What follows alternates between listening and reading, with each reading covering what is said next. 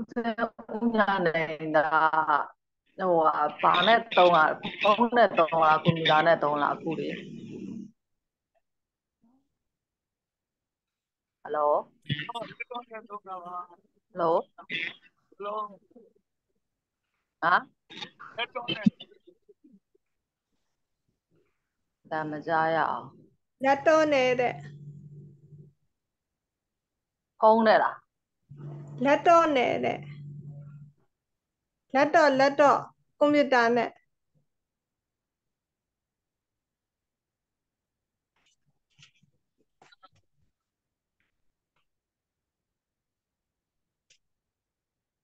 လက်တော့နဲ့လို့ပြောတာကြားလိုက်တယ်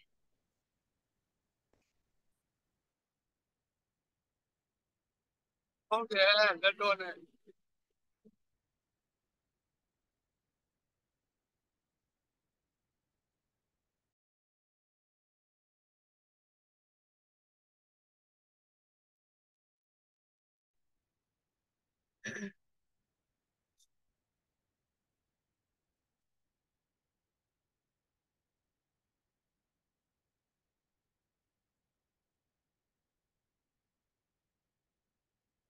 ဘုန်းဘုရားများဆရာလေးများနဲ့ဓမ္မမောင်နှမများမင်္ဂလာပါဗျာမင်္ဂမင်္ဂလာလာပါပါဆရာမရေမင်္ဂလာပါကျဲဟုတ်ကဲ့ပါရှင်ဓာတ်ပြီးတော့တို့ရဲ့သင်္ကန်းလေးကိုနမောတတနဲ့စတင်လိုက်ကြရအောင်ပါဗျာ မောသောတတံသောချာသတ္တဝါသေဟာဇောသမ္မာသမ္ဗုဒ္ဓံနနမောမောတတ္တဗုဒ္ဓဝါတောအသရရဟဟတောသမ္မာသမ္ဗုဒ္ဓံနမောတတ္တသစ္စာဗုဒ္ဓဘဂဝဝါတတောတောအရဟတောသမ္မာသမ္ဗုဒ္ဓ သမ္ဗုဒ္ဓံ အလုံးပဲမင်္ဂလာနဲ့ခင်းပါဗျာမင်္ဂလာပါတကျဲတကျဲတက်တာပါပါပြီလားတက်တာတက်တာတယ်လို့ပဲပြောရမှာပေါ့နော်စူးစမ်းနေတယ်ဆေးတွေလည်းတော်တော်တော့စုံနေတယ်ဟုတ်ကဲ့ပါအဲနှုံးအဲ့ဒီပါဟုတ်တယ်ဒီဒီတစ်ခေါက်တင်တဲ့ကတော့ညီမျိုးစားမျိုးစုံကြိုးခုံနေတယ်လို့ပြောရမှာပေါ့နော် ပထမတစ်ပတ်လောက်ကတော့အာရင်ဒီအပြည့်နဲ့တက်တက်ကြွကြွပေါ့အဲဒုတိယအပတ်ကျတော့ဘဝရဲ့ထိုးနဲ့ရိုက်ချက်မှုအကြီးကိုခံရပြီးတော့တင်ရတဲ့အပတ်ပေါ့အဲပြီးခံဒီအပတ်ကျတော့ခါကြတော့ဟိုဘယ်လိုပြောမလို့ကျက်မရေးထူကြတဲ့အပတ်ပေါ့နော်အဲဖြတ်ပြီးတော့ကြည်ချင်းအဖြစ်စိတ်ခွန်အားတွေရမယ်လို့ထင်တယ်ဩဘဝမှာအဆင်ပြေတဲ့ချိန်ကျတော့လေဒီလိုပဲဘဝကိုစူးစမ်းပြီးရှောက်တယ်ဘဝရဲ့ကြီးမားတဲ့ထိုးနဲ့ချက်ခံရရင်လေ ကိုယ်ကိုယ်တိုင်စူးစမ်းပြီးပြန်ထရမယ်ဆိုတဲ့စိတ်ဓာတ်ကိုမြင်မယ်လို့ထင်တယ်နော်ဒီဟာလည်းကျေးဇူးအများကြီးတင်တယ်လူမို့ဆိုရင်ကြိုင်ဘဝတော်တော်ကြီးကိုဘယ်လိုပြောမလို့ဟို hopeless ပေါ့လေမျောလင်းချက်မဲ့ပြီးတော့ဘဝတိတ်ပဲမရှိတဲ့အချိန်ခံစားရတဲ့အချိန်မှာ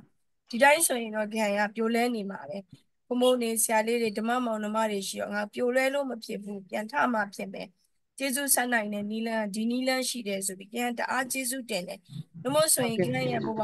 ဒီတိုင်းပဲဟိုဘယ်လိုပြောမလို့လေနေမဲ့သဘောတွေရှိတယ်ကိုเจ้าကိုတည်တယ်လေ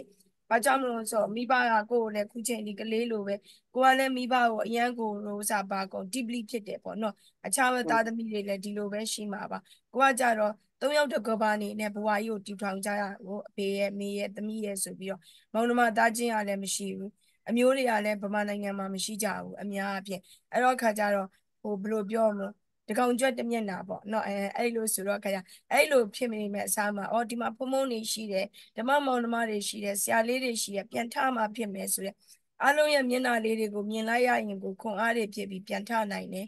လွမ်းတာဒီလွမ်းတဲ့အပိုင်းတစ်ပိုင်းအယံတတိရတာဒီတတိရတဲ့အပိုင်း run တိုင်းတတိရတိုင်းကုသိုလ်တွေများများလုပ်တယ် ဟိုဘယ်လိုပြောမလို့စာတွေများများဖတ်တယ်စာတွေများများလုပ်တယ်ပေါ့နော်ဒီတစ်ပတ်စာသင်ရတာတော့ဘဝမှာအတန်မျိုးစုံမျက်နှာမျိုးစုံနဲ့အတွေ့အကြုံမျိုးစုံနဲ့ပေါ့လေနော်အဲ့တော့မနေ့ပြန်ကတော့နောက်ဆုံးနေ့လေးဖြစ်တဲ့အတွက်ကြောင့်ပထမဦးဆုံး first week မှာတော့ request လုပ်ထားသလိုမျိုးကြောင်ကြိုးလေးညီညွတ်တယ်ဆိုရင်တော့မျက်နှာလေးတွေမြင်ဘူးခြင်းပါလေဟုတ်ဟုတ်ကဲ့ပါမြင်ပါတယ်။ဘာကြောင့်လဲဆိုတော့ကိုယ်ဘဝတန်တရာမှာစုံခဲ့ကြတဲ့ဓမ္မစာပေတွေမျှဝေရင်းစူးစမ်းကြရင် ဘယ်လိုလေးတွေပါလဲဆိုတာတော့မြင်ဘူးကျင်တယ်ပေါ့ခဲကိုတော့မြင်ဘူးနေမှာပေါ့နော် zoom ကနေဆိုတော့ကဲဟုတ်ကဲ့အော်ဒီဆီယာမဟိုပေါ့မျိုးစုံကြိုးခုံပြီးတော့စာတင်နေတဲ့ဆီယာမပါလားအဲပြီးတော့ခါရတော့အော်သူဘလောက်ပဲလောကရန်ကြုံကြုံပါဖောင်းကတော့မပြတ်ဘူးပေါ့အဲ့လိုလေးနဲ့နောက်ပြန်အကြောင်းကျိုးလေးညီညွတ်တဲ့ဆိုရင်တော့မြင်ဘူးကျင်ပါတယ်ဟုတ်ကဲ့အဲဆရာပြီးကျေးတော့ဇူးခါရတော့ MA တန်းနေပြီးသွားပြီဆိုလို့ convocation လုပ်တဲ့အချိန်ကျတော့ အဆင်ပြေတဲ့အကြောင်းကျိုးညီညွတ်တဲ့ဆိုရင်လာရောက်အားပေးပါအောင်မယ်ဟုတ်ကဲ့ပါဆရာကျေးဇူးတင်ပါတယ်ရှင်အဲ့ဒါကဲအဲဒါဆိုရင်ကြိုင်တို့ဒီနေ့ comparative အပိုင်းလေးစရအောင် comparative အပိုင်းမနေ့က analytical အပိုင်းနဲ့ပတ်သက်ပြီးတော့လေဖြတ်ပြီးတော့ဟိုလိုအပ်တဲ့ဟို sampling နဲ့ thesis PDF file လေးတွေလည်းကြည့်နိုင်ရန်အတွက်ပို့ပေးထားတယ်ဒီနေ့လည်း comparative နဲ့ပတ်သက်တဲ့ PDF file လေးတွေကိုပို့ပေးမယ် အဲပြီးတော့ခါမနေ့ဖြန်ကြတော့ဒီ relations အပိုင်းနဲ့ပတ်သက်တဲ့ပေါ့လေနောက်ဆုံးပိတ်အပိုင်းလေးကိုမျှဝေပေးမယ်အဲဒီလိုပြီးသွားပြီဆိုတော့လည်းအမငယ်နဲ့နော်ဒီခိုင်ကဆာရှာပေးရမယ့်ဟာတွေကိုလည်းဆာရှာပေးအောင်ပါပဲအချိန်မရွေးကိုယ့်ရဲ့အာဓမ္မအာနဲ့ပတ်သက်တဲ့အမညီမတကရင်ဒကမရင်ကဲ့သို့သဘောထားပေးရန်အတွက်လည်းကြိုတင်ပြီးတော့တောင်းပန်လျှောက်ထားပါတယ်။ဘာကြောင့်မလို့လဲဆိုတော့ KID ကျေးဇူးဆက်နေရလေဘဝအတွက်က ဒီချိန်နေထိရအောင်အတွက်က2015မှာအမေကအတူတကွလိုက်တင်ပေးတဲ့အမေဆိုတာအဲ UA မှာဆိုရင်အမေနဲ့သမီးနဲ့အတူတူတက်တာဒီသားသမီးနှစ်ယောက်ကစတာပဲအဲသားသမီးနှစ်ယောက်ကစတာပဲဒီချိန်နေထိကျေးဇူးဆက်နိုင်တာဒီအဓိကမိခင်ရဲ့ကိုအားညံအားသူကိုယ်တိုင်80ကျော်ကြီးနဲ့ဆောင်မွဲလိုက်ဖြေတာလေမမီးဘေဘီကတက်ချင်နေဆိုတာနဲ့သူ80ကျော်ကြီးနဲ့ကိုယ်တိုင်စာချက်တယ်ကိုယ်တိုင်ဖြေတယ်သမီးတယောက်တည်းဆိုတော့သူမလွတ်ရဲဘူးပေါ့အဲအဲ့လိုမျိုးပေါ့လေအဲပြီးတော့ခါကြတော့ ဟိုယူရီးယားတက် MA တက်တုန်းကလည်းအဲ့ဒီလိုပဲ PhD လုပ်တုန်းကလည်းဒီလိုပဲတောက်လျှောက်ထက်ချက်မကွာလုံနိုင်လုပ်ပေးနေတယ်မိဘအဖေကလည်းဆက်ဆက်ရ supporting လုပ်တယ်မိဘတွေရဲ့ထောက်ပံ့မှုပြုစုဆောင်ရှောက်မှုနဲ့ကျေးဇူးဆက်ခွင့်ရတာကိုကိုကိုကိုလည်းဂုဏ်ယူတယ်အခြားသော လောကီဘွဲတွေဘလောက်ပဲရရဓမ္မနဲ့ရတဲ့ဘွဲကဘဝမှာအမျက်ဆုံးပဲလို့ခံခံယူတယ်ဒီလိုမျိုးပြန်ပြီးတော့မျှဝေသင်ကြားပေးရတာလေအရင်လဲပီတိဖြစ်တယ်အလုံးအတွက်လည်းဂုဏ်ယူဝမ်းသာတယ်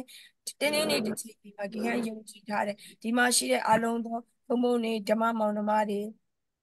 ဆရာလေးတွေဒီဓမ္မစာပေတွေကိုပြန်လည်မျှဝေပြီးတော့အာဘဝရဲ့အတိတ်ပဲကိုအမျက်ဆုံးသောဓမ္မတွေနဲ့ဖြတ်တန်းကြမယ်။ခင်ဗျတို့ကလက်နဲ့မျိုးစုံစုနေကြတာလေ။နန္ဒရာခီကတော့သွားကြမှာကြီးပဲ။သွားကြမှာကြီးပဲ။သွားကြမဲ့အခါမှာဆိုရင်ကိုကဆိုရင်စာပေလေ့လာတဲ့ဆိုရင်ပညာပါရမီတွေဖြစ်ကြတယ်။ခန္တီပါရမီတွေဖြစ်ကြတယ်။ ပါရမီအမျိုးစုံဖြစ်ရင်းနဲ့ဘဝကိုလုံနေကြတာ။ဒါကြောင့်မလို့အလုံးဒီလည်းကြိုးစားပါအပေးတယ်လိုအပ်တာအများရှိတဲ့ဆိုရင်လည်းအချိန်မရွေးဆက်သွယ်ပေးပါကျေးဇူးဆက်ပြီးတော့ဦးညီပြစေအလုံးရဲ့ဆောက်ရှောက်မှုမြတ်တာကိုလည်းခံယူခြင်းပါတယ်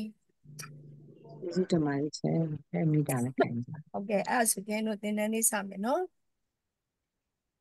ဒီနေ့ကတော့ကဲတို့ comparative နဲ့ပတ်သက်တဲ့အပိုင်းလေးကိုလေ့လာကြရမှာပေါ့နော် comparative အပိုင်းလေးကိုလေ့လာကြမယ်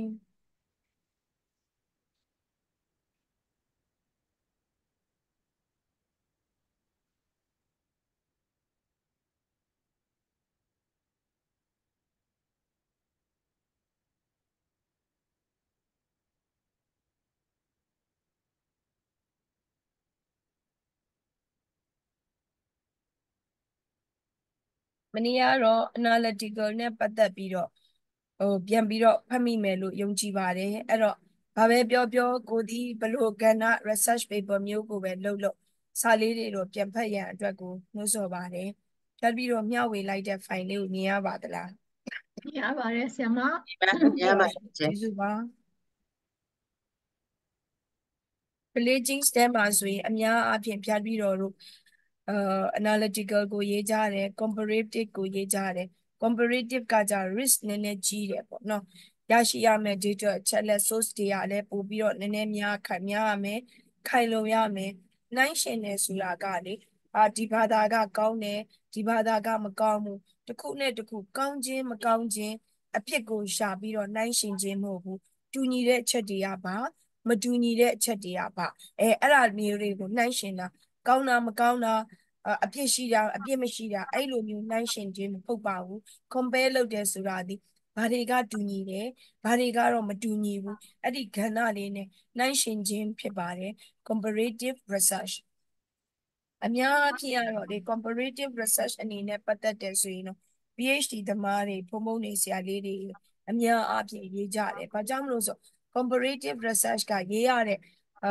thesis format type ကလည်းမတူဘူး။ blog pattern နဲ့ရေးမှာလား point by point နဲ့ရေးမှာလားအဲ့လိုပုံစံမျိုးလေးတွေရှိတယ်။အခါတိုင်း analytical တို့ဘာတို့ကကြတော့ဒီ rules and regulation အတွက် chapter အတိုင်းပဲ chapterization ကိုဘယ်လိုခွဲမယ်ဘယ်လို format နဲ့ရေးသွားမယ်အဲ့လိုပုံစံမျိုးလေးတွေကရိုးရှင်းတယ်ပေါ့ comparative ကကြတော့ရေးရတဲ့ pattern လေးတွေရှိပါတယ်ဒါလေးတွေနဲ့ပတ်သက်ပြီးတော့လည်းမျှဝေသွားမယ်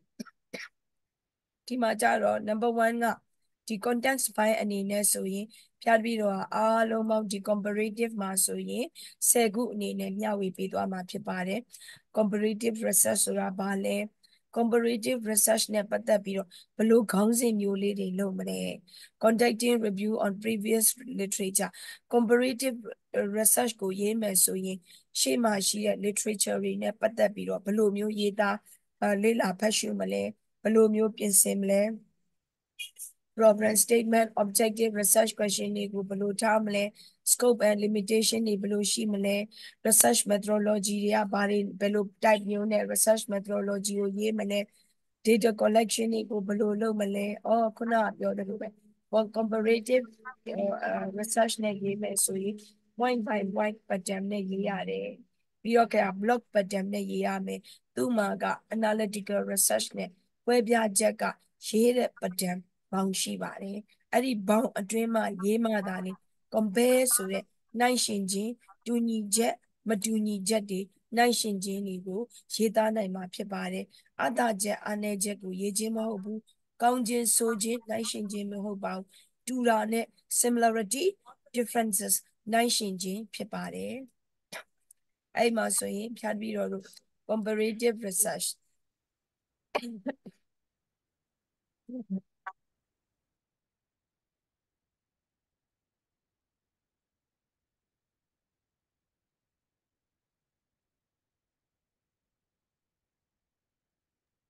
ဒီ comparative research က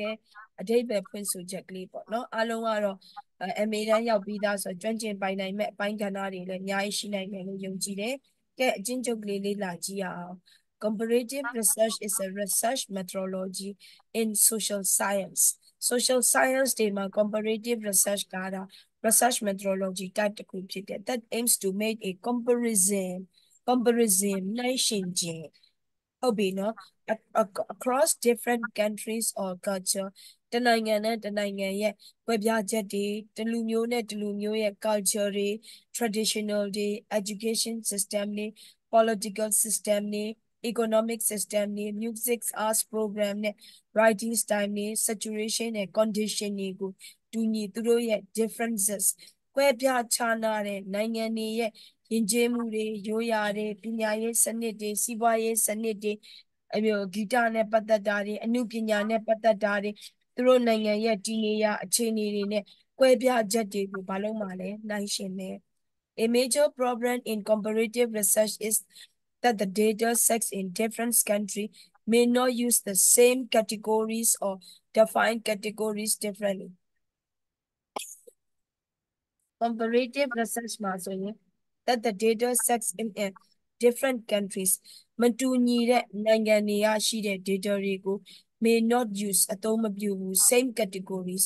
မတူညီတဲ့နိုင်ငံတွေကနေပြီးတော့ခါကြတော့ဗာလဲ same categories တူညီတဲ့ categories တွေဒါမှမဟုတ် define categories differently မတူညီတဲ့အရာတွေအလုံးကိုဘာလို့မှလဲ data တွေကိုလေ့လာမယ်တူညီတာတွေကဘာတွေရှိမလဲမတူညီတာကဘာတွေရှိမလဲအဲ့ဒါတွေကိုနိုင်ရှင်လေ့လာမယ်အချင်းချုပ်ကလေးကတော့အုပ်စုတွေနိုင်ငံတွေနေရာတွေမှာရှိတဲ့ယဉ်ကျေးမှုအမှုပညာတွေအဲကျမရေး system education system အဲ့ဒါတွေနဲ့ပတ်သက်တဲ့အကြောင်းအရာတွေနဲ့ပတ်သက် ကွဲပြားမှုတွေတူညီမှုတွေ differences similarities တွေကိုအသေးစိတ်နှိုင်းရှင်လေ့လာရတဲ့သူတေသနာဖြစ်တယ်ဥပမာအားဖြင့်မြန်မာနိုင်ငံနဲ့ထိုင်းနိုင်ငံတို့ရဲ့ပညာရေးကဏ္ဍမြန်မာနိုင်ငံနဲ့ထိုင်းနိုင်ငံတို့ရဲ့ထေရဝါဒဖွံ့ဖြိုးတိုးတက်မှုအရေးအနေအထားမြန်မာနိုင်ငံနဲ့စင်ကာပူနိုင်ငံတို့ရဲ့ပညာရေးစနစ်အဲမတူညီတဲ့နိုင်ငံတွေဒါမှမဟုတ်မတူညီတဲ့အုပ်စုတွေ ဥပမာအားဖြင့်ဝိပဿနာတရားအထုတ်တဲ့အုပ်စုနဲ့ဝိပဿနာတရားအမထုတ်တဲ့အုပ်စုသီလဆောင်ထိန်တဲ့သူတွေနဲ့သီလမဆောင်ထိန်တဲ့သူတွေသူတို့ကြားမှာတူညီချက်တွေကဘာတွေရှိမလဲကွဲပြားချက်တွေကဘာတွေရှိမလဲအဲ့ဒါမျိုးတွေကိုနှိုင်းယှဉ်ခြင်းဒီ comparative research လို့ခေါ်ပါတယ်သိဖို့လိုတယ် quantitative research မှာဆိုရင် quanti နော် data တွေကောက်ရတယ် primary source survey တွေကောက်တယ်အဲ့ဒီမှာဆိုရင် descriptive research အရှိကိုအရှိတိုင်းဖော်ပြရတဲ့ descriptive research ဒီ comparative research ဖြစ်တယ်ဒါလေးသိဖို့လိုတယ်သူကဘာကြောင့်မလို့ဆို analytical research တွေကကြာတိတ်ပြီးအဓိပ္ပာယ်ဖွင့်ဆိုစရာမလိုဘူး comparative research ကဒါကြောင့်မလို့ risk ကြီးတယ်လို့ပြော comparative research ဒီ quantitative research မှာဘယ်ထဲမှာပါတာလဲ descriptive research ထဲမှာပါတယ်။ ဘာကြောင့်မလို့လဲ quantitative research ဆိုရင်စာပေကောက်တာတွေပါမယ်မတူညီတဲ့ကြားမအုပ်စုတွေကြားအသက်အရွယ်တွေကြားပညာအရေးချင်းတွေနေရာဒေသကြားမှာရှိတဲ့အမြင်တွေအယူအဆတွေဝင်ငွေတွေသူတို့ရဲ့ပညာတတ်ခြင်းမတတ်ခြင်းတွေအဲ့ဒါတွေနဲ့ကွဲပြားခြားနားမှုရှိမရှိဆိုတဲ့တင်ပြတဲ့ primary data စာပေကောက်တဲ့ data တွေမှာရရှိလာတဲ့ရလဒ်တွေကိုမှ ဂျာမအလိုက်ရာဂိုင်နှုန်းတွေ mean median လို့မုတ်တွေနဲ့ဖော်ပြရတယ်ဒါကြောင့်မို့ဒါရိုးရိုးရှင်းရှင်းလေးပဲသိရမယ် quantitative research မှာ comparative research ဒီဘာအမျိုးအစားလဲ descriptive research အမျိုးအစားဘာကြောင့်မလို့လဲစာပေကောက်ပြီးတော့မှပြုလုပ်လို့ရတယ် comparative ကိုအမျိုးသားအမျိုးသမီးအသက်အရွယ်ပညာရေးချင်း သူတို့ရဲ့ဝင်ငွေပမာဏတွေပေါ်မှာနှိုင်းရှင်ပြီးတော့မှအမျိုးသားတွေကတော့ဝင်ငွေဘယ်လောက်ရှိကြတယ်အမျိုးသမီးတွေကတော့ဝင်ငွေဘယ်လောက်ရှိတယ်အမျိုးသားတွေကတော့သီလဘယ်လိုဆောင်ထိန်မှုကပမာဏဘယ်လောက်ရှိတယ်အမျိုးသမီးတွေကသီလဆောင်ထိန်မှုဘယ်လောက်ရှိတယ်ဒိဋ္ဌာတွေမှာဆိုရင်အမျိုးသားတွေအဝင်များသလားအမျိုးသားတွေအဝင်များသလားနှိုင်းရှင်မယ်အဲ့ဒီလိုမှဆိုရင် comparative research ဒီ survey ကောက်ပြီးတော့နှိုင်းရှင်ရတဲ့ research မျိုးအနေနဲ့လုပ်မယ်ဆိုရင် quantitative research ထဲမှာမှ descriptive research အမျိုးအစားဖြစ်တယ်သိထားဖို့ရအတွက်လေးပဲပြောတာပါနောက်တစ်ခုရှိသေးတယ် quantitative research မှာ statistical research ဆိုတာကဘာလဲ SPSS data တွေ run ပြီးတော့အသုံးပြုရတဲ့ research မျိုးအဲ့မှာကြတော့ experimental research ဥပမာအားဖြင့် before medicine and after medicine ဆေးဝါးတစ်ခုကိုတောက်သုံးမယ်ဥပမာအားဖြင့်ယနေ့ခေတ်မှာဆိုရင် stress တွေဖြစ်စီတယ်ညဆိုရင်တော်ယုံတန်ယုံအိတ်မပျော်ကြတော့ဘူးအကြောင်းမျိုးမျိုးတွေကြောင့်အဲ့ဒါဆိုရင်ညအိတ်ဆေးတောက်ပြီးတော့အိတ်တဲ့သူအမျိုးအစားနဲ့အိတ်ဆေးမတောက်ဘဲနဲ့အိတ်တဲ့သူအမျိုးအစားရဲ့ခန္ဓာကိုယ် resistant တွေသူတို့ရဲ့လမ်းစတက်ကြွမှုတွေအလုပ်လုပ်နိုင်တဲ့ ability တွေအဲ့ဒီလိုမျိုး before after အနေနဲ့ experiment လုပ်ပြီးတော့ကောက်မဲ့ data မျိုးတွေဒီလဲဗာလဲ comparative research ဖြစ်တယ် experimental research ဘယ်ထဲရလဲ quantitative research ထဲမှာဆိုရင်သူဒီဘယ်မျိုးထဲမှာပါတာလဲ comparative research ထဲမှာပါတယ်တည်ထားရမယ်အဲ့ဒါဆိုရင် quanti မှာဆိုရင် comparative နှမျိုးရှိတယ်စာပေကောက်ပြီးတော့လုပ်ရတဲ့ descriptive research ဒီတဲ့ comparative research experimental before and after ကို comparing လုပ်မဲ့ research မျိုး quanti မှာဆိုရင်လေသူဒီ comparative research မျိုးဖြစ်တယ်ဒါလေးကိုဘ ഹു တုတအနေနဲ့သိထားစေချင်ပါတယ်၎င်းသူတေသနာပေါ်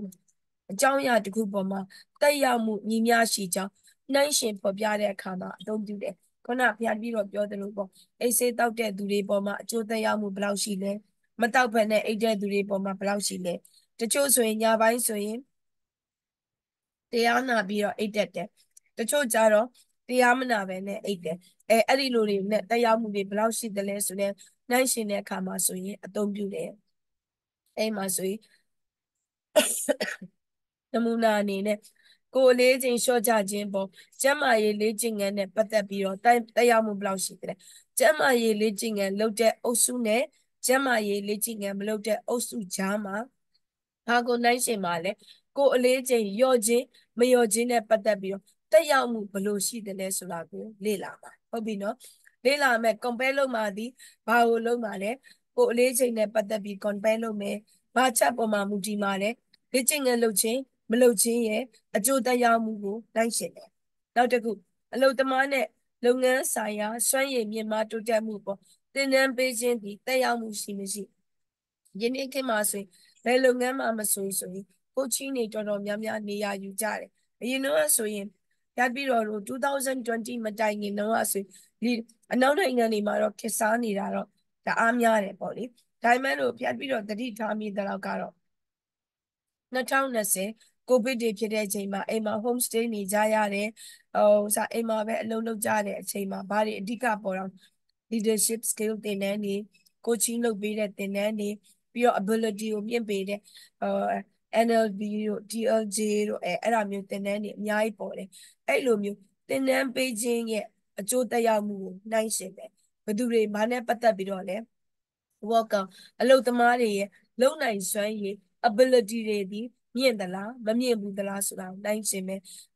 base camp မှာဒီသင်တန်းပေးခြင်းကို base camp ပဲဘာလဲအလုပ်သမားတွေရဲ့ ability သင်တန်းရတက်တဲ့သူတွေရဲ့ ability နဲ့ သင်တန်းမတက်တဲ့သူတွေရဲ့ ability ဒီဘယ်လိုကွဲပြားခြားနားတယ်လဲဆိုတာ compare လုပ်တယ်နောက်တစ်ခုကစိတ်ကြယောဂဆိုင်ရာကုသ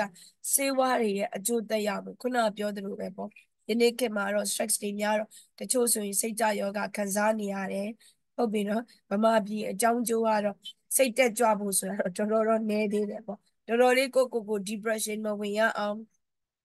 ဘဝကိုပြိုလဲမသွားရအောင်လုပ်ကြတဲ့အခြေအနေတွေများကြတယ်ဒါပေမဲ့လို့ ဟိုကောင်းတာကောင်းတယ်ပေါ့ကောင်းတယ်ဆိုတာအကောင်းနဲ့အဆိုးကတော့အများကြီးပဲပေါ့နိအဆိုးတဲ့ကနေမှအကောင်းအနေနဲ့ကိုယ့်ရဲ့လောကရန်ဘလောက်ခံနိုင်ရရှိတယ်လဲ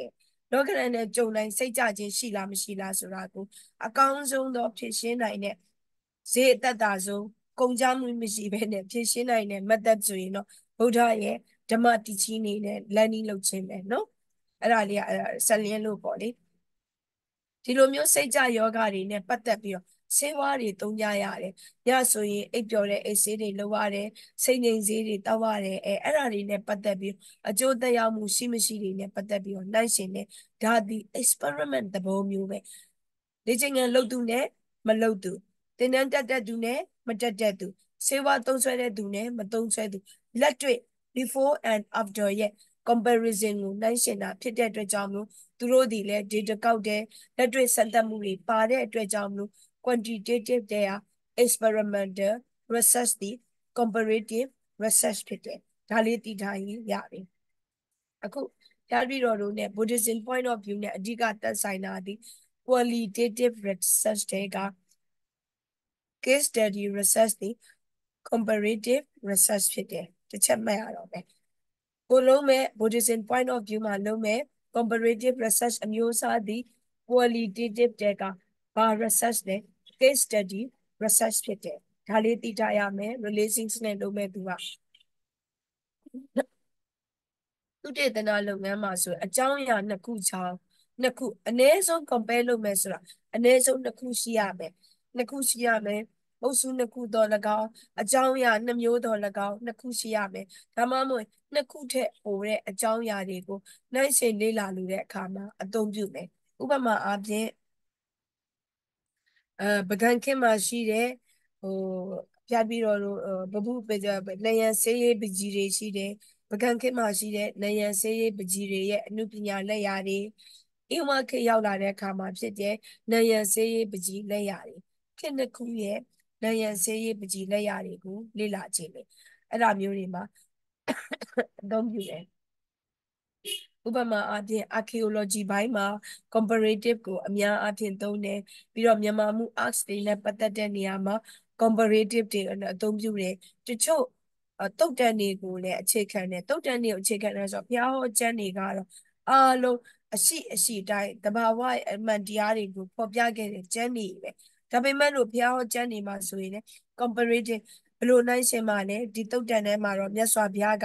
ကံနဲ့ပတ်သက်ပြီးတော့ဒီလိုဟောကြားထားတယ် ဒီဓမ္မပဒမှာတော့ကံနဲ့ပတ်သက်ပြီးတော့ဘလို့ဟောကြားထားတယ်အကြောင်းအရာတစ်ခုကိုဟောကြားထားတဲ့မတူညီတဲ့တုတ်တန်တွေမတူညီတဲ့အချက်တွေနဲ့နှိုင်းရှင်တင်ပြတဲ့ဟာမျိုးတွေလည်းရှိပါတယ်ယခုဖော်ပြတဲ့နှိုင်းရှင်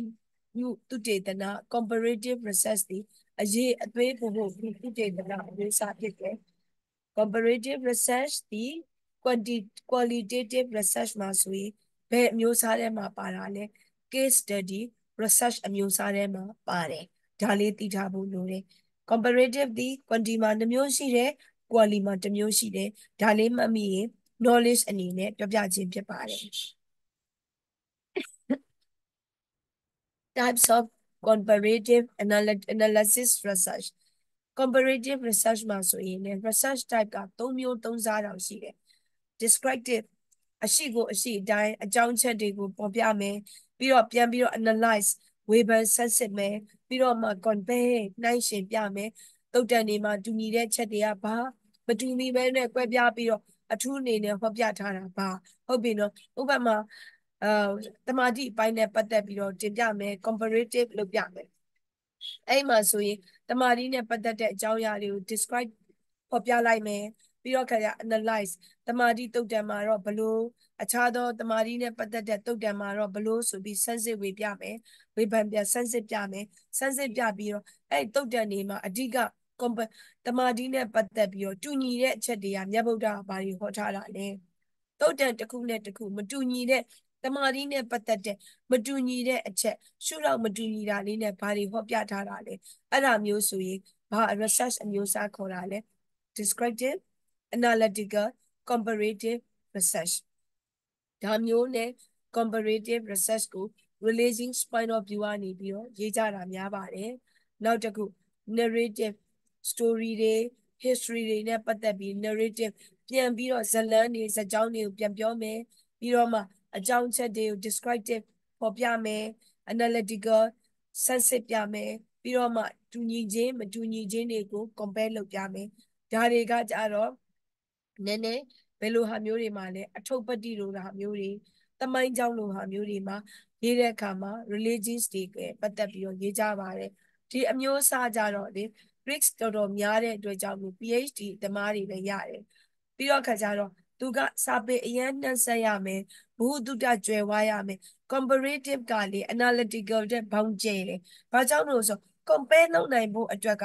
စာတွေအများကြီးဖတ်ပြီးတော့အကြောင်းချက်တွေအများကြီးစုဆောင်းပြီးမှတူညီချက်မတူညီချက် similarity differences ကို compare လုပ်ပြနိုင်တာစာလေးနည်းနည်းလေးဖတ်ပြီးတော့ compare လုပ်လို့မရ compare လုပ်ပြမယ်ဆိုရင်အနည်းဆုံး3ချက်5ချက်လောက်ကို compare လုပ်နိုင်မှသာလေကိုယ့်ရဲ့ကျန်ကကျန်ကဘယ်လိုပြောမလို့ဘောင်းဝင်တယ်အဆင့်မီတယ်လို့ပြောလို့ရတယ်ဒါကြောင့်မလို့ ဒီ narrative descriptive analytical comparative research က PhD သမားတွေအများဆုံးသုံးတယ် history တွေနဲ့ပတ်သက်တော့၎င်း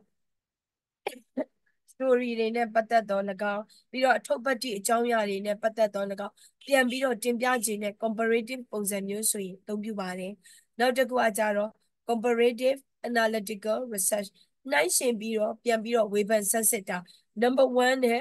number 3ဒီ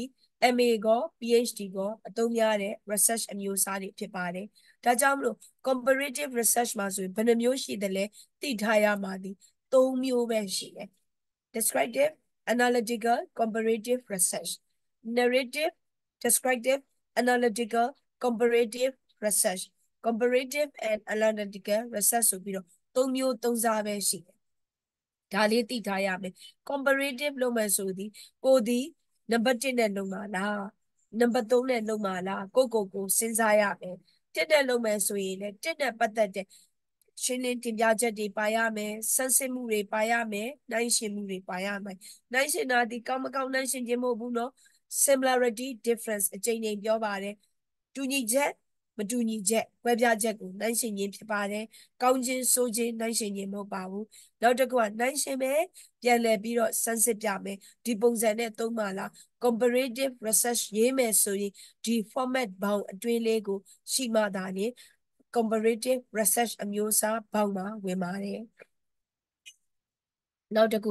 လေ့လာမယ်ခေါင်းစဉ်ကိုဒါကတော့တည်ပြီးသားအချက်လက်လေးတွေကိုပြန်ပြီးပြောတာဘာကြောင့်မလို့လဲ comparative ရေးမဲ့သူဒီဒီဟာကိုပြန်ပြီးကြည့်လိုက်တဲ့ဆိုရင်ရှေ့က research တွေကိုနားလည်ပြီးပြီးပြန်ကြည့်စရာမလို comparative ရေးမဲ့သူဒီ lecture 9ကိုပြန်ကြည့်ရင်အဆင်ပြေအောင်လို့ပြန်ပြီးတော့စုဆောင်းပေးထားခြင်းဖြစ်တယ် comparative နဲ့ပတ်သက်ပြီးတော့ဘယ်လိုခေါင်းစဉ်တွေပေးမှာလဲပြီးတော့ခါအစောပိုင်းသူတေသနာတွေများများဖတ်ပေးမယ်လွတ်လာမဲ့သူတေသနာအကြောင်းအရာတွေကိုဘယ်လိုဘာအကြောင်းချက်နဲ့ပတ်သက်ပြီး compare လုပ်မှာလဲ compare လုပ်မဲ့အကြောင်းချက်တွေကိုသတ်မှတ်ဖို့ပါလိုပါတယ် compare ဒီ MA သမားအနေနဲ့၃ချက်လောက်နိုင်ရှင်ပေးရတယ် PhD သမားဒီ၅ချက်လောက်နှိုင်းရှင်ပေးရတယ် comparative လုပ်တဲ့အခါမှာဆိုရင်ဘယ်သူတွေကြားမှာနှိုင်းရှင်မှာလဲဥပမာအားဖြင့်ပညာတတ်အုပ်စုကြားမှာနှိုင်းရှင်မှာလားပညာမတတ်တဲ့အုပ်စုကြားမှာနှိုင်းရှင်မှာလားအုပ်စုလူမျိုးစုတွေကြားမှာနှိုင်းရှင်မှာလားအဲ့လိုနှိုင်းရှင်ကြ what ဘ လို့အကြောင်းအရာတွေနဲ့ပတ်သက်ပြီးတော့နှိုင်းရှင်မှာလဲနေရစေးရပကြီးနဲ့ပတ်သက်ပြီးနှိုင်းရှင်မှာလားမုဒရာတွေနဲ့ပတ်သက်ပြီးနှိုင်းရှင်မှာလားခေတ်စနစ်ပညာရေးကျန်းမာရေးခြေတွေနဲ့ပတ်သက်ပြီးနှိုင်းရှင်မှာလားဖះဟောချက်ရဲ့ကိုရေးခြင်းတဲ့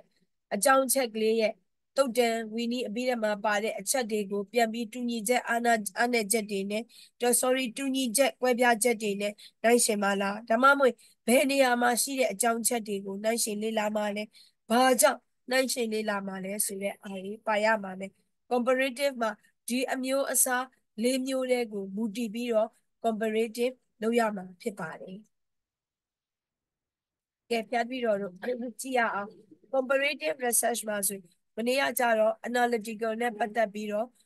ဘယ်လိုမျိုး title မျိုးလေးတွေလုပ်တယ်ဆိုတာပြောတယ်။ဘာကြောင့်မလို့လဲ comparative မှာဆိုရင်လည်းဘယ်လို title လုပ်တယ် analytical မှာလည်းဘယ်လို title လုပ်တယ်ဆိုတာသိထားဖို့လိုပါတယ်။တချို့စာတမ်းတွေကဘာဆိုတာကတိတိကျကျပါတယ် comparative လုပ်မှလားဘာလုပ်မှလားတချို့ကြတော့မပါဘူးသို့တော်လည်းခေါင်းစဉ်ဖတ်ခြင်းအပြင်ဒါသည် analytical လားဒါသည် comparative လား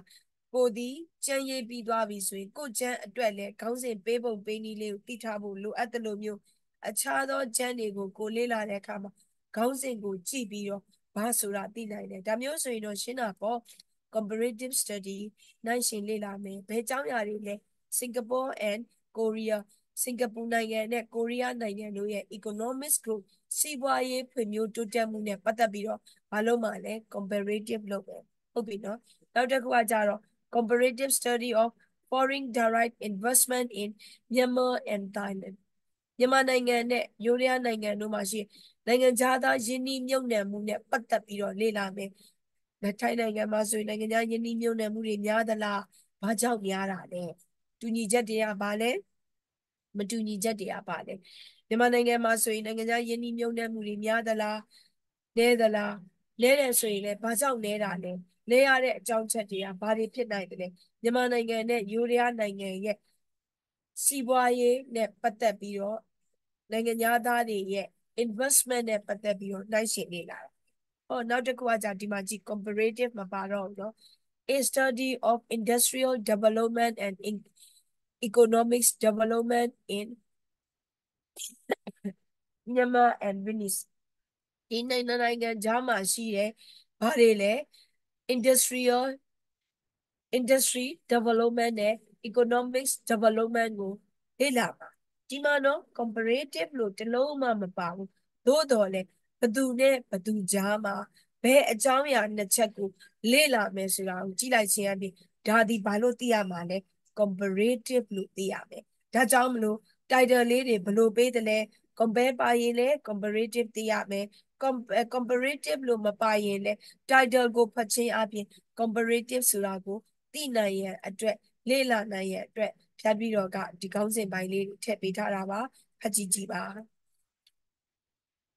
ဒီမှာဆိုရင်မြန်မာပြည်သူကစီရီလင်္ကာပြည်သူကတွေနဲ့ပတ်သက်ပြီးတော့စတူပအဲစတူပဆိုတာဇေဒီတော်တွေလေမြန်မာနိုင်ငံနဲ့စီရီလင်္ကာနိုင်ငံမှာရှိတဲ့ဇေဒီတော်ကြီးတွေရဲ့ပုံစံအနေထား ဟမ်ပန်နေဆောက်လုပ်မှုဟိုဘယ်လိုပြော ingredient သုံးတဲ့ဟာတွေဘယ်လိုမျိုးကွာခြားတယ်လဲဆိုတာလေးနှိုင်းရှင်နေတာတွေပါမယ်ဟုတ်ပြီနော်နောက်တစ်ခုကကြတော့ Buddhism နဲ့ Hinduism အဲ့ဒီမှာကြတော့အချိန်ချင်းပြောတယ်နော် similarity နဲ့ differences ကိုနှိုင်းရှင်တာပါ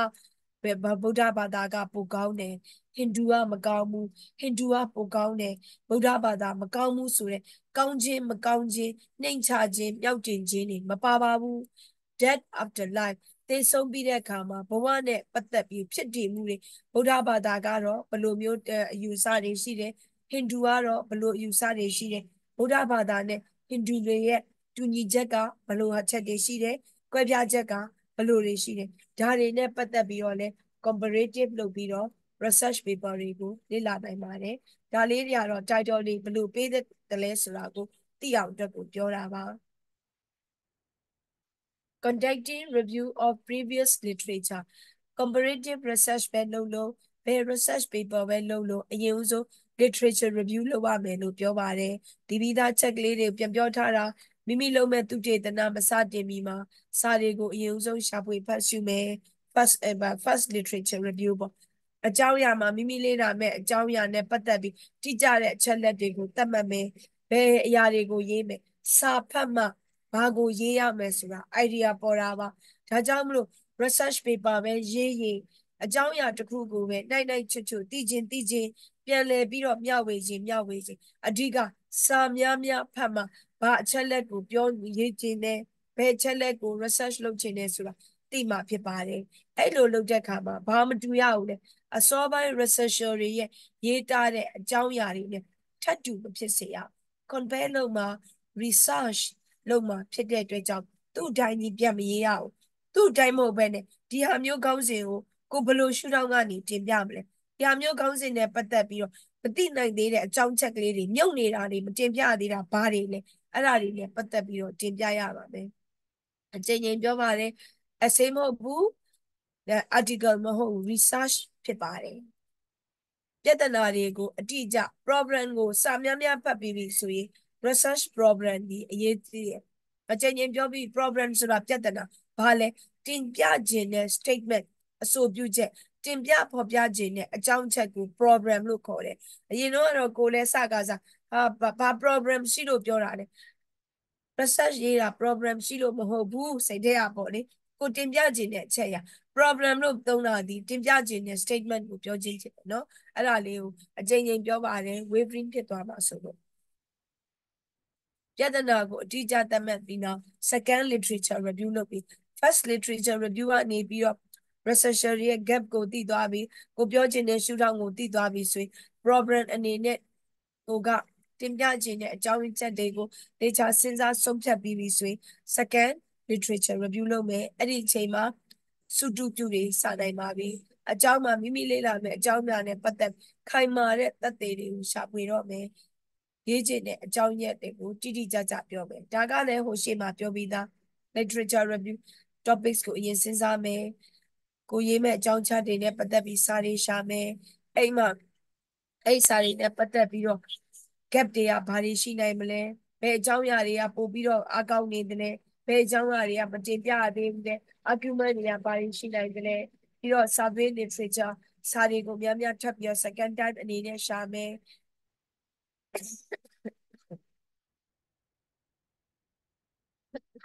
ပြီးတော့ literature လုပ်မယ် write the review လုပ်မယ်ဒါဒီ literature review လုပ်ရမယ်ပုံစံလေးတွေကိုပြောပြတာပါရှေ့ပိုင်းမှာလည်းပြောပြသွားပြီးပြီဖြစ်တယ်ဒါလေးတွေက overall အနေနဲ့ပြီးခဲ့ပြီလို့ပြန်လည်တင်ပြမယ် topics တွေစဉ်းစားမယ် problem စဉ်းစားမယ် problem ကနေ purpose တွေတည်ဆောက်မယ် research question တွေတည်ဆောက်မယ်ပြီးတော့မိမိရေးမဲ့အကြောင်းအရာတွေကိုစတင်ပြီးတော့ရေးသားနိုင်တယ် problem statement ဆိုတာဘာကိုဘာကိုခေါ်တာလဲပြဿနာနဲ့ပတ်သက်ပြီးတော့ဘယ်လိုတွေလဲဖတ်ကြည့်ပေးပါတိပိသားအကြောင်းအရာတွေပဲဖြစ်ပါတယ် general statement gap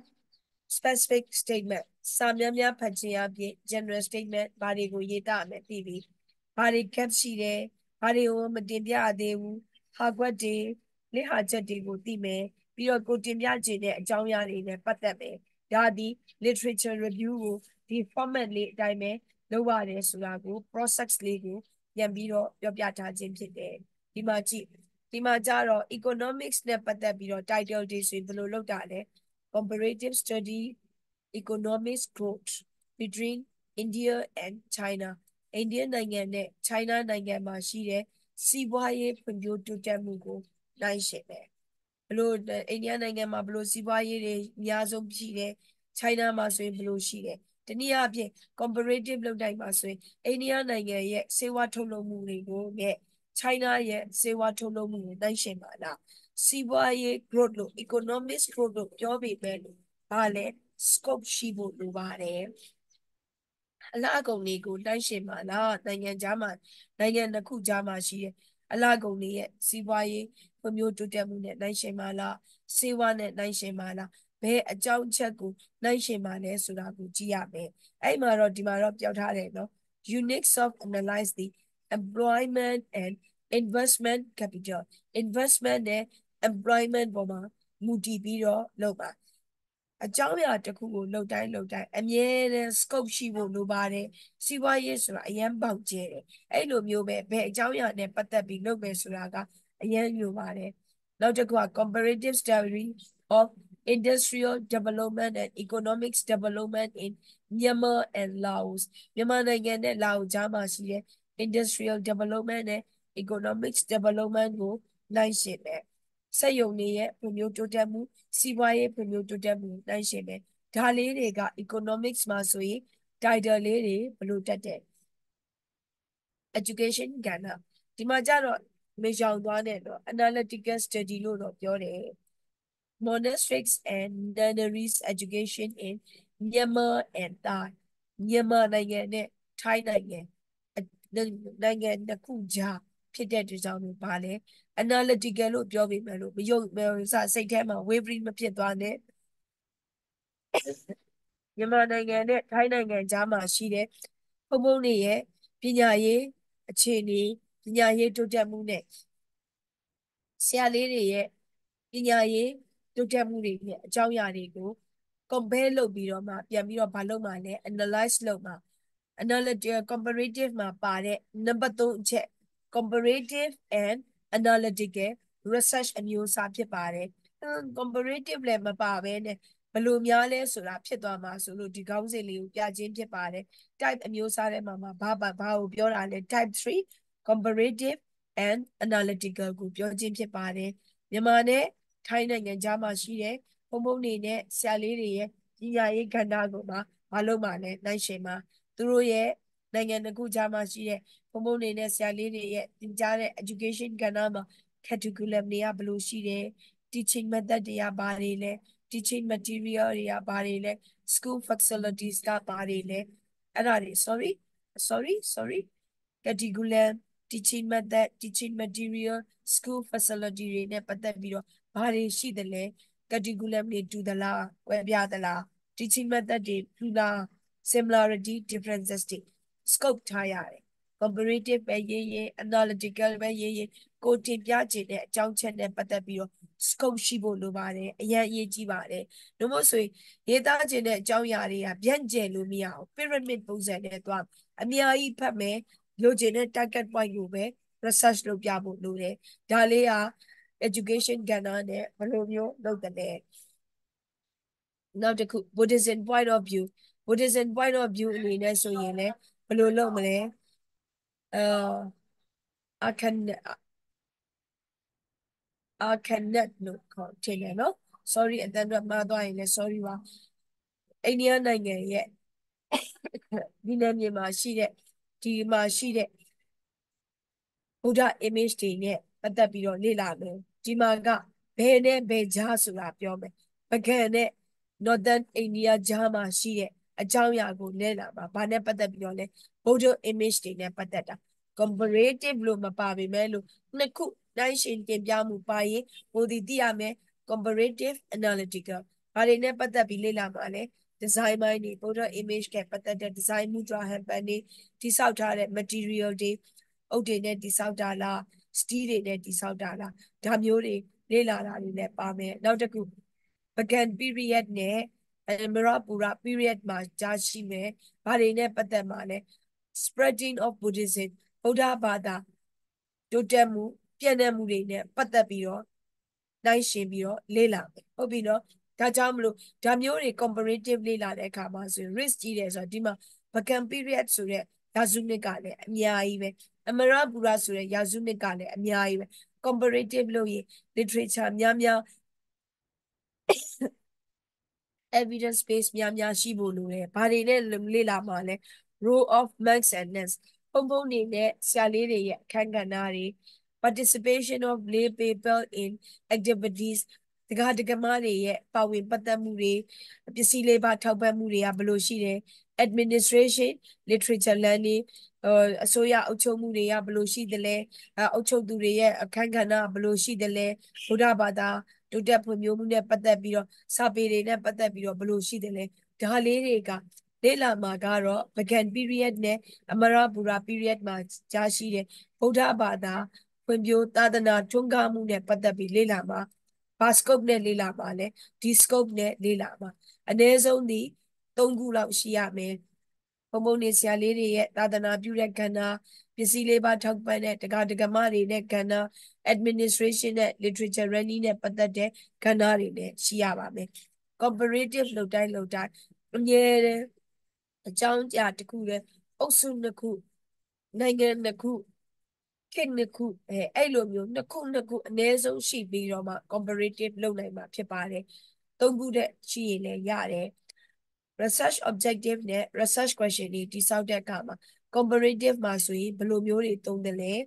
objective မှာဆိုရင် to gain to know to confirm to find to argue ဒီလိုမျိုးတူတွေနဲ့ research objective ကိုအသုံးပြုလေးရှိပါတယ်ဒါသည် comparative မှာဆိုရင်ဘ ယ်လို objective ကိုသုံးရမယ်ဆိုတာသိရအတွက်ကိုပြန်ပြီးတော့ scope လုပ်ပြခြင်းဖြစ်တယ်နောက်တစ်ခု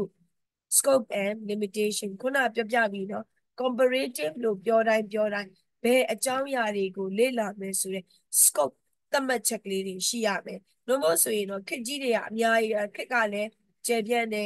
အဲ့ဒီထဲမှာမှမှသာသနာပြန်ပါမှုနဲ့ပတ်သက်ပြီးတော့လေ့လာမယ်ဆိုတော့အများကြီးကဏ္ဍတွေဖြစ်နိုင်တဲ့အကြောင်း ဘာကိုပဲလေ့လာမယ်ဆိုတဲ့ scope တွေကိုသတ်မှတ်ထားဖို့လိုတယ်။ဒါကြောင့်မလို့ဘလို့ research မျိုးပဲဖြစ်စေကိုယ်မှာဘာရှိရမှာလဲ scope ရှိရမယ် limitation ရှိရမယ်။မြည်သည့်နေရာအရာတွေကိုလေ့လာမယ်မြည်သည့်အရာတွေကိုတော့မလေ့လာဘူးဆိုတဲ့အကြောင်းအရာတွေကိုတင်ပြရမယ်။ပြီးတော့ကကြ research method and data type research design ကပါတယ်ပြီးပြီးသားပဲ သူတေသနာရဲ့မြေပုံဖြစ်တယ်ဘလို့တင်ပြမယ်ဘလို့အချက်လက်တွေကိုစမ်းစစ်ဝေဖန်မယ်ဆိုတာဒီ research ပဲ data collect ဘလို့လုပ်မှလဲဗုဒ္ဓစာပေတွေရဲ့သုတ်ဝီနည်းအပြီးဓမ္မတွေကိုအခြေခံမယ် article တွေ book တွေ research paper တွေဖတ်ပြီးတော့လုပ်မယ် method လာပြီ method ကဘာလဲ research method ဒီ comparative research နှစ်ခုအနည်းဆုံးတစ်ခုကြားမှာနိုင်ရှင်မယ်ဆိုရင် comparative research methodology ဘယ်နှမျိုးရှိတာလဲအပေါ်မှာပြောခဲ့ပြီးတော့၃မျိုး descriptive analytical comparative လား narrative descriptive analytical comparative လား comparative analytical လားနိုင်ရှင်တာမျိုးဆိုရင်ဘာ research လဲ comparative research comparative မှာဆိုရင်ပြောပြပြီး quantity မှာရှိတဲ့ data တွေကောက်တယ် experiment တွေလုပ်တယ်ဆိုရင်ဒါသည် primary data တွေကိုအခြေခံပြီးတော့လုပ်တယ်လို့ပြောတယ် secondary data စာအုပ်စာပေကျန်ကိုကျန်ကားတွေနဲ့လုပ်တယ်ဆိုရင် secondary လို့ခေါ်တယ်တနည်းအားဖြင့်ဗုဒ္ဓအဲ့ဒါဒီ social science ဘက်ကပြောတာဗုဒ္ဓစာပေမှာဆိုရင်သုတ်ဝီနည်းအပြီးတမှာကျန်ရင်းကြီးတွေကိုအခြေခံထားရင် primary data တွေဖြစ်တယ်ဟုတ်ပြီနော်ဟို article တွေ journal တွေပတ်သက်ပြီးလေ့လာတယ်ဆိုရင် secondary data ဖြစ်တယ် primary data ကပါ secondary data ပါဆိုတာကိုပြပြခြင်းဖြစ်တယ်ပြီးတော့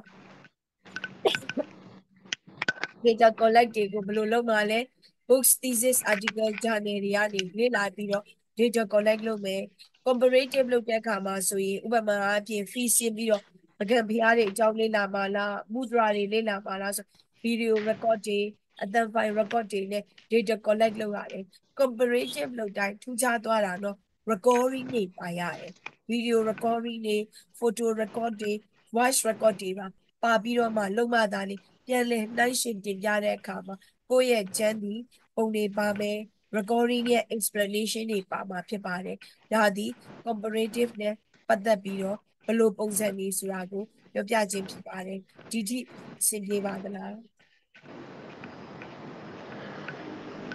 ပါတယ်ဆရာ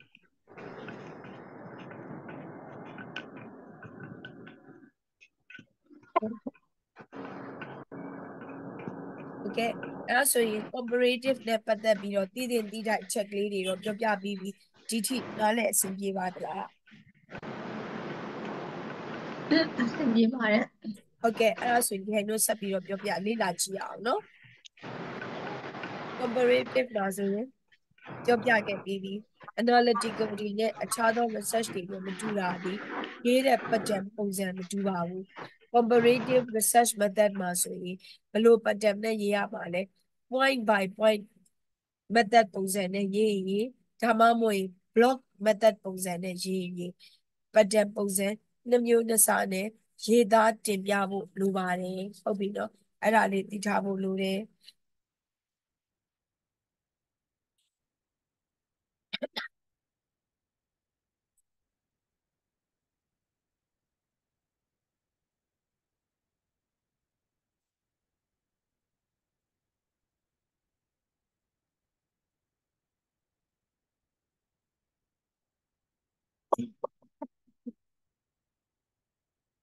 အဲ့ဒီမှာလေတစ်ချက် point by point ဆိုတာတစ်ချက်ပြီးတစ်ချက်တင်ပြတာပေါ့ကိုဥပမာအားဖြင့်အာယူရီးယားနိုင်ငံနဲ့မြန်မာနိုင်ငံရဲ့ဗုဒ္ဓဘာသာဖွံ့ဖြိုးတိုးတက်မှုဆိုရင်ဘုံဘုံနေနဲ့သီလရှင်တွေရဲ့ကဏ္ဍဘလို့ဖွံ့ဖြိုးတိုးတက်တယ်တစ်ချက်နောက်တစ်ခုတက္ကတက္ကမတွေရဲ့လူဒန်းထောက်ပံ့မှုတစ်ချက်နိုင်ငံတော်အစိုးရတွေရဲ့အဖြစ်ပေးမှုထောက်ပံ့ပေးမှုတစ်ချက်တစ်ချက်ချင်းတစ်ချက်ချင်းတစ်ချက်ချင်းကိုတင်ပြပြီးတော့တူညီချက်တွေကဘာတွေရှိနေမယ် ကွဲပြားချက်တွေကဘာတွေရှိနိုင်မယ်ဆိုပြီးတစ်ချက်ပြီးတစ်ချက်တင်ပြတဲ့အချက်တွေကိုဘာလို့ခေါ်တာလဲ point by point method လို့ခေါ်တာပါကိုတင်ပြခြင်းနဲ့အပေါ်မှာ scope လုပ်ထားတဲ့အချက်တွေကိုတစ်ချက်ပြီးတစ်ချက်တင်ပြခြင်းဖြစ်ပါတယ် point by point ဆိုတာဘာကိုပြောချင်တာလဲကိုတင်ပြခြင်းနဲ့အကြောင်းအချက်တွေကိုတစ်ချက်ချင်းစီဥပမာ row of mass and length အဲ့ဒါကိုခေါင်းစဉ်တစ်ခုတက်ပြီးတော့ဒိုရီးယားနိုင်ငံနဲ့ အမရမြန်မာနိုင်ငံရဲ့ပုံပုံနေနဲ့သီလရှင်တွေရဲ့ကဏ္ဍတစ်ချက်နောက်တစ်ခု participation of lay people တက္ကသိုလ်မတွေရဲ့ပါဝင်မှုပစ္စည်းလေးပါထောက်ပံ့မှုကတစ်ချက်နောက်တစ်ခုကじゃ administration အနေနဲ့ကတစ်ချက်အဲ့လိုတစ်ချက်ပြီးတစ်ချက်ရှင်းပြမယ်ပြီးတော့မှတူညီချက်တွေကဘာခွဲပြချက်တွေကဘာဆိုပြီးတော့မှ conclusion မှာပြန်ပြီးတော့မှအနှစ်ချုပ်ပြမယ် ကိုရေးချင်တဲ့ scope တစ်ချက်ချင်းစီကို ရှင်းပြမယ်နောက်တစ်ချက်ကို ရှင်းပြမယ်နောက်တစ်ချက်ကို ရှင်းပြမယ်အားလုံးရှင်းပြပြီးမှအနှစ်ချုပ်နေမှတူညီချက်ခွဲပြချက်ကိုတင်ပြတဲ့ research paper ရေးတဲ့ comparative research ပုံစံကိုဘာလို့ခေါ်တာတော့ဆိုတော့ point by point လို့ခေါ်ပါတယ် point by point method လို့ခေါ်တယ် point by point method ကိုလေဘာလို့ခေါ်သေးတော့ဆိုတော့ mixed structure integrated pattern လို့လည်းခေါ်တယ် MIXED mix structure S T R U C T U R E structure mix structure ဆိုတာရောထားတာတစ်ချက်ပြီးတစ်ချက်တစ်ချက်ပြီးတစ်ချက်အုပ်စုလိုက်လေးပဲမဲ့လို့ဘာဖြစ်ထားတာလဲအုပ်စုတွေအကုန်လုံးကိုရောပြီးတော့မှအဖြေကိုနောက်ဆုံးမှမှတူညီချက်ကွဲပြားချက်ကိုရောပြီးတော့မှထုတ်ပေးတာဟုတ်ပြီနော်ဒါကြောင့်လို့သူ့ကို point by point method ကိုခေါ်သေးတယ် mix structure integrated pattern I N D E G R A D E D integrated mix structure integrated pattern သိထားဖို့ပြောတာပါရေးပုံရေးနည်းတူတူပဲ point by point method နဲ့ comparative မှာရေးမယ်ဆိုရင်တစ်ချက်ပြီးတစ်ချက်တစ်ချက်ပြီးတစ်ချက်ရှင်းမယ်ပြီးတော့မှ conclusion မှာမှာအဖြေတွေအားလုံးကို similarity နဲ့ difference ရေးမယ် point by point ကိုနောက်တစ်မျိုးခေါ်သေးတယ်ဘယ်လိုခေါ်လဲ mix structure integrated Pattern လို့လည်းခေါ်တယ်နောက်တစ်ခုကကြတော့ blot method blot method နဲ့ရေးတာကဲကြည့်ရအောင် mix uh point by point ဆိုတာဘာလဲဒီမှာရှင်းရှင်းလေးမြင်အောင်ပြောတယ် point by point ဟူသည်အဓိကအရေးကြီးတဲ့အကြောင်းချက်အကြောင်းအရာတစ်ခုချင်းတစ်ခုချင်းဟူအဓိပ္ပာယ်ရတယ်ကိုရေးခြင်းတဲ့ scope တစ်ခုပြီးတစ်ခုတစ်ခုပြီးတစ်ခုရေးတဲ့ဟာကိုပြောခြင်းဖြစ်တယ်ယခုပုံစံတွင်ဆွေးနွေးလိုတဲ့အကြောင်းအရာတစ်ခုစီကို နှိုင်းရှင်မြင့်အရာနှစ်ခုရှင်ထိုးပြီးနှိုင်းရှင်ပြတဲ့မျိုးစားဖြစ်တယ်နှိုင်းရှင်ရာတွေအုပ်စုတွေနိုင်ငံတွေကြားမှာအုပ်စုတွေနိုင်ငံတွေကြားမှာရှိတဲ့နှိုင်းရှင်ခြင်းတွေကိုပြန်လည်ပြီးတော့မေကိုနေနဲ့ပြန်လည်ပြီးတော့အဖြေတွေဖြည့်ဆိုတင်ပြခြင်းဖြစ်တယ် scope လောက်ထားတဲ့အချက်တွေလိုက်ကိုအရင်ဆုံးတင်ပြမယ်ဘုံဘုံတွေရဲ့ကဏ္ဍဆရာလေးတွေရဲ့ကဏ္ဍဘလို့မြန်မာနိုင်ငံနဲ့မှာဘလို့ယူရီးယားနိုင်ငံမှာဘလို့တက္ကသိုလ်မတွေရဲ့ထောက်ပံ့မှုကဏ္ဍဘလို့ နိုင်ငံတော်ရဲ့ကဏ္ဍဘလို့အဲ့လိုမျိုးတစ်ချက်ချင်းတစ်ချက်ချင်းရှင်းပြပြီးတော့မှမိမိရေးထားတဲ့ research question တွေကိုမှအောက်ဆုံးမှာမှ similarity differences တွေနဲ့ပြန်ပြီးတော့အနှစ်ချုပ်တင်ပြတဲ့ pattern မျိုးဖြစ်တယ်သူရဲ့ thesis outline ကဘယ်လိုရှိမလဲ chapter 1မှာဆိုရင် comparative ကထုံးစံအတိုင်းပဲ chapter 1က introduction အပိုင်းနေပါမယ် background ပါမယ် problem ပါမယ် objective ပါမယ် scope ပါမယ် related study ပါမယ် methodology ပိုင်းပါမယ်ပြီးတော့ခါကျတော့ organization of chapter ပါမယ်။ oh chapter 2 chapter 2မှာကျတော့ဘာတွေလဲတစ်ချက်ချင်းတစ်ချက်ချင်းတစ်ချက်ချင်းပြောပြီးတဲ့အခါမှာဘာတွေရေးမှာလဲ similarities တွေကဘာတွေရှိမလဲ differences တွေကဘာတွေရှိမလဲ compare between similarities and differences တွေဟုတ်ပြီနော် ပုံပုံနေတဲ့ဆရာလေးတွေရဲ့ကဏ္ဍမြန်မာနိုင်ငံကဘယ်လိုရှိတယ်ယူရီးယားနိုင်ငံကဘယ်လိုရှိတယ်တင်ပြလိုက်မယ်တင်ပြပြီးတော့တူညီချက်တွေကဘာတွေလဲမတူညီကွဲပြားချက်တွေကဘာတွေလဲတူညီချက်နဲ့ကွဲပြားချက်တွေကိုပြန်ပြီးတော့နှိုင်းရှင်တင်ပြမယ်ဒါသည်ဘာပဒံလဲ point by point ပဒံဖြစ်ပါတယ် chapter 2မှာအဲ့ဒီလိုမျိုးပဲ ရေးတယ်လို့မျိုး chapter 3မှာလည်း post scope လုပ်ထားတဲ့အကြောင်းချက်နဲ့ပတ်သက်ပြီးတော့ဒကာဒကမတွေရဲ့ကဏ္ဍဆိုရင်လည်းတူညီချက်တွေကဘာတွေလဲကွဲပြားချက်တွေကဘာတွေလဲတူညီချက်ကွဲပြားချက်တွေကိုနှိုင်းယှဉ်ပြီးတော့တင်ပြတယ်နောက်တစ်ခု chapter 3မှာကျတော့ဘာရှိမလဲအစိုးရကဏ္ဍတွေရဲ့တူညီချက်တွေကဘာတွေလဲကွဲပြားချက်တွေကဘာတွေလဲတူညီချက်ကွဲပြားချက်တွေကိုပြန်ပြီးတော့နှိုင်းယှဉ်ဖော်ပြတယ်သူကဒီမှာက သုံးခန်းလို့လုပ်ပြပေးမယ်လို့ကိုလုပ်ထားတဲ့ scope ပေါ်မှာမူတည်ပြီးတော့အခန်းတွေခွဲလို့ရတယ် MADM ဆိုရင်၅ခန်းခွဲလို့ရတယ်ဒါကြောင့်မလို့ body ဘိုင်းမှာဆိုရင်ကိုက scope ၃ခုနဲ့လုပ်ထားတယ်ဆိုရင် scope တစ်ခုကိုတစ်ခန်းလုံးနဲ့လည်းတင်ပြလို့ရတယ်နှစ်ခုကိုတစ်ခန်းလုံးနဲ့လည်း chapter လောက်အောင်ခွဲပြီးတော့တင်ပြလို့ရတယ်ဒါကညီလာအောင်လို့ပြောတာ chapter 3ကတော့ဘာလို့ပြမှာလဲအားလုံးတူညီချက်တွေဝဲပြချက်တွေပြန်ပြီးတော့ discuss လုပ်မယ်ပြန်ပြီးတော့ conclude လုပ်ပေးမယ်ဒါသည် point by point တနည်းအားဖြင့် mixed structure integrated pattern ရဲ့ရေးပုံရေးနည်း pattern ဖြစ်တယ်ပြီးတော့ခါကြတော့ reference list လေးပါရမယ်ပေါ့နော် bibliography အပိုင်းတွေပါရမယ်နောက်တစ်ခု block pattern block pattern ကိုじゃနောက်တစ်မျိုးခေါ်သေးတယ်နော် structure by subject by subject အကြောင်းအရာ subject လိုက် subject လိုက်ဒါမှမဟုတ် whole to whole ကဏ္ဍတစ်ခုလုံး ပြောချင်တာဒီမြန်မာနိုင်ငံမှာရှိတဲ့ဘုံဘုံတွေနဲ့ဆရာလေးတွေရဲ့ကဏ္ဍ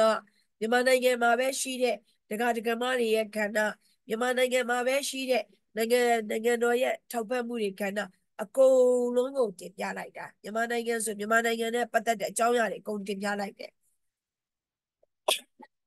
ယူရီးယားနိုင်ငံ ယူရီးယားနိုင်ငံဆိုယူရီးယားနိုင်ငံနဲ့ဖုံဖုံတွေရဲ့ကဏ္ဍဆရာလေးတွေရဲ့ကဏ္ဍ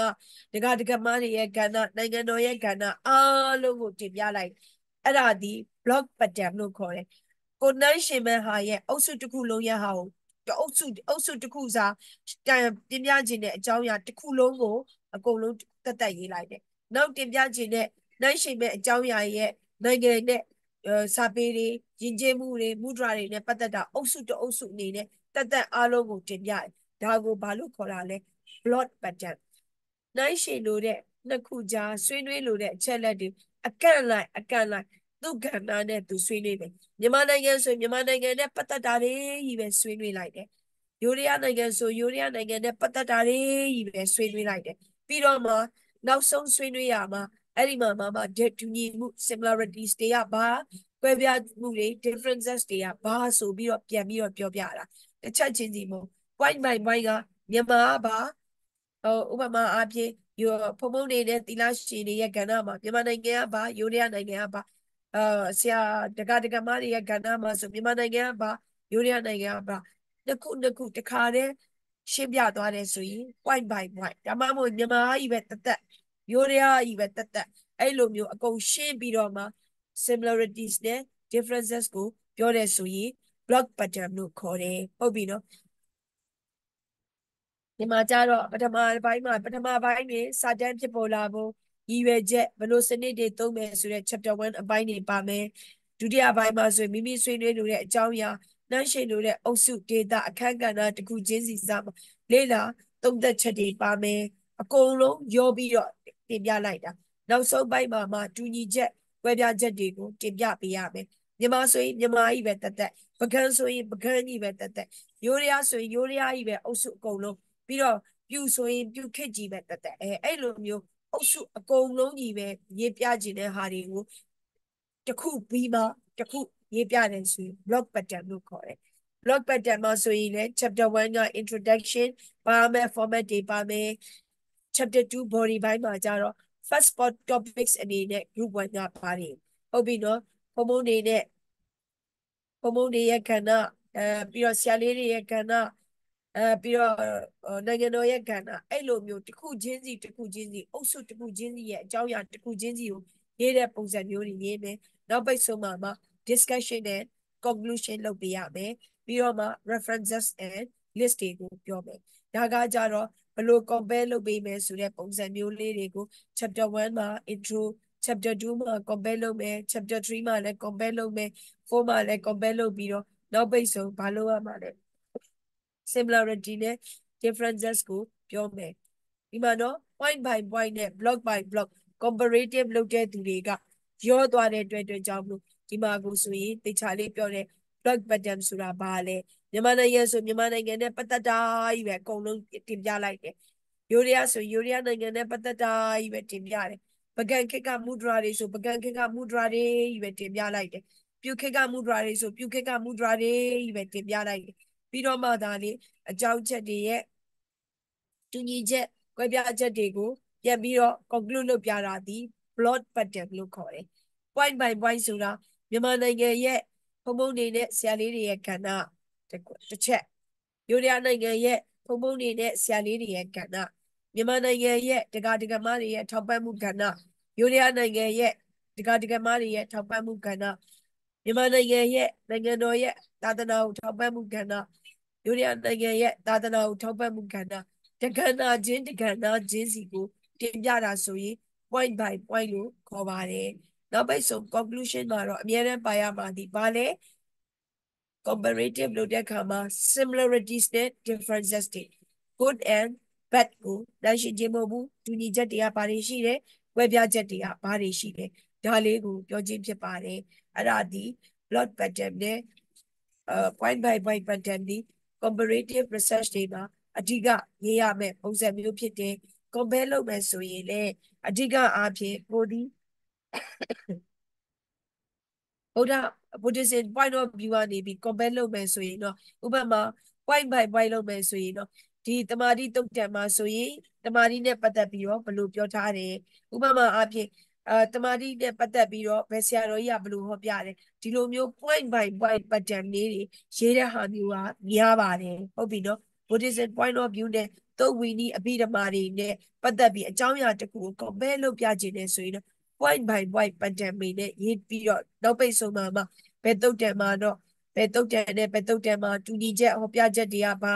မတူညီကွဲပြားချက်ကလေးတွေကတော့ဘာတွေရှိတယ်ဆိုပြီးရေးတယ် blood pattern တွေကကြတော့ဘလို့တွေမှာရေးတာလဲနိုင်ငံရေးစီးပွားရေးပညာရေးကဏ္ဍအုပ်စုတွေနိုင်ရှင်ခြင်းတဲ့နေရာတွေမှာရေးတယ်ခက်တွေရဲ့အကြောင်းအရာတွေပြီးတော့ mudra တွေရဲ့ hamban တွေရေးတဲ့အခါမှာ blood pattern ကိုရေးတယ်တုတ်တန်ဝီနီအပိဓမ္မာတွေကို base ခံပြီးတော့အကြောင်းအရာတင်ပြခြင်းနဲ့အကြောင်းအရာကိုရေးတယ်ဆိုရင်တော့ point by point ကိုအသုံးပြုကြတာများပါတယ်အဲ့ဒါဆိုရင်တော့ ဒီနေ့ comparative နဲ့ပတ်သက်ပြီးတော့အဆင်ပြေမယ်လို့ထင်ပါတယ်အဆင်ပြေပါသလား ပြပါတယ်တီချာ ကဲ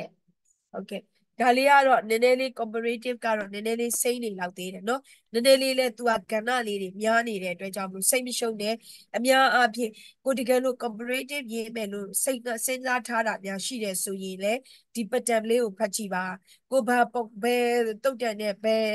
စာနဲ့ကို comparative လုပ်ချင်တာလဲအဲ့ဒါမျိုးလေးတွေရှိတယ်ဆိုရင်လေဖြတ်ပြီးတော့ねအားတဲ့အချိန်လေးမှာဒီတစ်ပတ်တည်းပြီးရင်တော့နေကောင်းတော့ပြီလို့ယုံကြည်ပါတယ်เนาะပြန်ပြီးတော့ဘလို့ pattern လေးနဲ့ရေးဆိုတာပြန်ပြီးတော့မျှဝေပေးမယ် ဆွေးနွေးပေးမယ်ဟုတ်ပြီနော်အကောင်းဆုံးကတော့လေ comparative ကကြတော့လေဟိုဘယ်လိုပြောစာပေနှက်ဆက်ရမယ်ကျွမ်းကျင်ရမယ်နိုင်ရှင်မှုတွေအ ਨੇ ဆုံး၃ခုလောက်တင်ပြနိုင်မှာ comparative ကိုရွေးဖို့အတွက်ကိုပြောချင်တယ်နော်။ဘာကြောင့်မလို့ဆိုတော့တစ်နှစ်ဆိုတဲ့ duration လေးမှာလောက်ရမယ်အတိုင်းအတာလေးတွေဖြစ်တဲ့အတွက်ကြောင့်မို့ဒါကြောင့်မလို့ comparative နဲ့ပတ်သက်ပြီးဒီနေ့ပြန်လေးဟိုပြန်ပြီးတော့ကြဖတ်ကြည့်ပါ comparative လုပ်မယ်ဆိုရင်လည်းဘယ်လိုလေး compare လုပ်နိုင်မလဲဆိုတာကိုကလုပ်ဖို့ရည်ရွယ်ထားတယ်ဆိုရင်လည်း ဖြတ်ပြီးတော့ပြန်ပြီးတော့သက်ဆိုင်ရာ title လေးတွေနဲ့ပတ်သက်ပြီးတော့ဆွေးနွေးပေးပါမယ်ဒီတစ်ပတ်ထဲမှာစာလေးတွေရှာထားတာလေးတွေလည်းပို့ပေးနိုင်အောင်အတွက်ကိုစူးစမ်းပါမယ်ဟို get ဖြစ်သွားတဲ့အတွက်ကြောင့်မို့နောက်ကျသွားတဲ့အတွက်လည်းတောင်းပန်ပါတယ်။နေ့ပြန်တော့ဒီ research နဲ့ပတ်သက်တဲ့နောက်ပိတ်ဆိုအနှစ်ချုပ်အပိုင်းတည်တည်တည်ထိုက်တဲ့ရေးလို့ရတဲ့ type လေးတစ်မျိုးရှိသေးတယ်။အများအပြား religions မှာတော့